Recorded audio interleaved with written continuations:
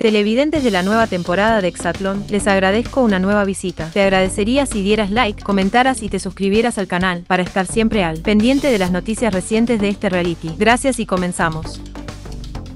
Fue mejor que Mati Álvarez, pero ahora este atleta es un completo fracaso en Exatlón All-Star 2023. La actual edición de Exatlón All-Star 2023 dio inicio con la promesa de que la entrega, de nuevo, presentaría la ejecución de los atletas más fuertes y dominantes en la historia del programa. Elementos como Mati Álvarez y Coque Guerrero que no tienen uno, sino varios trofeos. Ambos concursantes enfrentaron los desafíos de la campaña previa y consiguieron instalarse hasta las justas de la gran final, la batalla que coronó al hechicero del aire como doble vencedor del show y además como una de las leyendas más grandes tras derrotar a Álvarez. Pese a que fue sin duda el mejor participante del primer Hexatlón All-Star, Coque Guerrero parece ya no tener la habilidad y destreza que lo llevó hasta la cima en aquella competencia, pues ahora es Mati quien lidera otra vez la estadística en la contienda. Coque Guerrero impacta con su bajo desempeño en Hexatlón All-Star. El porrista de la línea celeste retornó a las tierras y playas de República Dominicana a fin de defender su título de campeón. Sin embargo, si bien su actuación no es la peor, esta sí está considerada como una de las más decepcionante si se toma en cuenta el desempeño que tuvo en temporadas anteriores. Coque Guerrero admitió en la transmisión de Exatlón All-Star que quizás su rendimiento ya no es tan bueno como antes,